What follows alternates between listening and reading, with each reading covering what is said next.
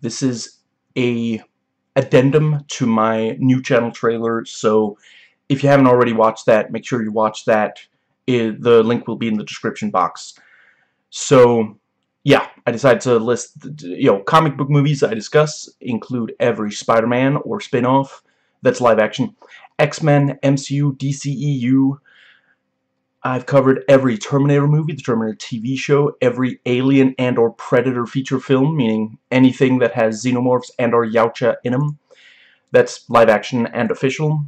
Every movie in the following series, Rambo, Scream, every movie based on a Philip K. Dick story that I've been able to watch. In addition, I'm a really big fan of George A. Romero, Brian De Palma, Barry Sonnenfeld, Stanley Kubrick, and Alfred Hitchcock you know, as I mentioned the channel trailer, I do one movie vlog per week, sometimes more than one, and at least one, occasionally two, or even three vlogs per week where I talk about shows, and the shows tend to be current and or something that is part of a major franchise as well as other stuff.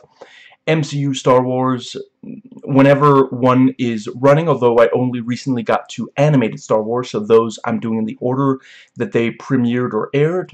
Once I'm completely caught up, I will do current ones as soon as they hit Disney+. Plus.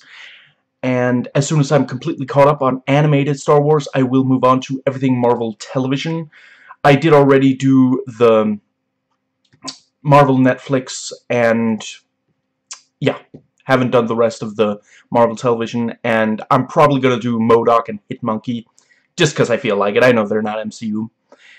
And after that, I'll do some other show. Haven't decided yet which one.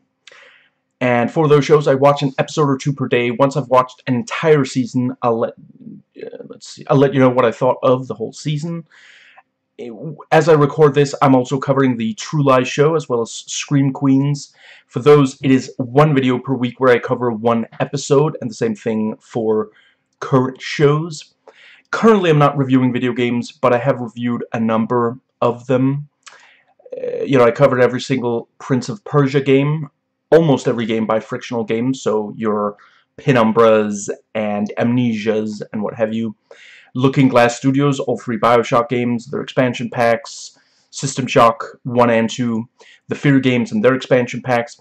My politics are extremely close to those of The Cavernacle, The Phantom Initiative, some more news, and I do bring up my politics in videos and argue against ideas expressed either in media I cover as well as ones, yeah, and ones found in reviews of that media and they also inspire my sense of humor along with MST3K RiffTrax, Folding Ideas, Cracked, and College Humor.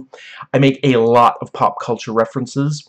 I try to find something positive to say about every single thing that I do a video on. I try to be appreciative of intentions as well as results when it comes to reviewing media. I do not judge media, movies that are not recent based on current standards, but try to put myself in the mindset of someone watching it when it first came out. I review less recent films than ones that are at least 10 years older, and I have and will continue to review movies as far back as the 1950s.